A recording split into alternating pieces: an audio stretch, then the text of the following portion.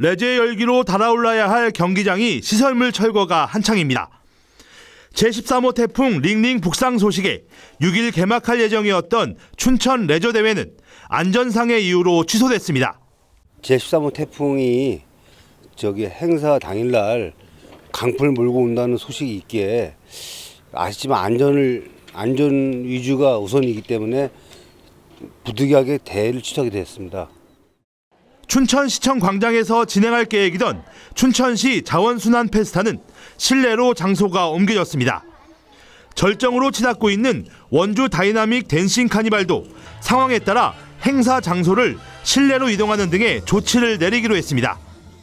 강원도는 7일 아침부터 태풍 링링의 직간접적인 영향권에 들 전망입니다.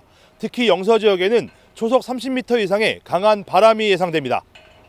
현재 태풍 링링의 세력은 지난 2010년 한반도를 관통한 태풍 곰파스보다 더 강한 상황.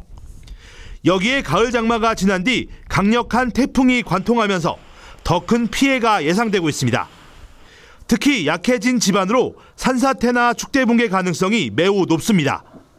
여기에 강한 바람으로 간판이나 시설물 피해도 우려되고 있습니다.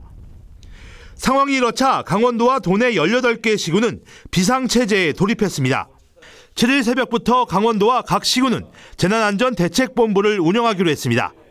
또 건설 현장 타워 크레인 등 시설물 안전 조치와 입간판에 대한 점검을 마쳤습니다.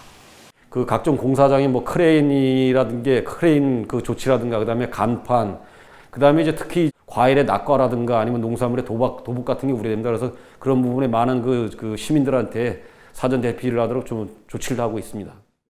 기상청은 7일 오전을 기해 도내 전역에 태풍 예비특보를 발령했고 비는 오는 8일 새벽에 대부분 그칠 것으로 예상했습니다.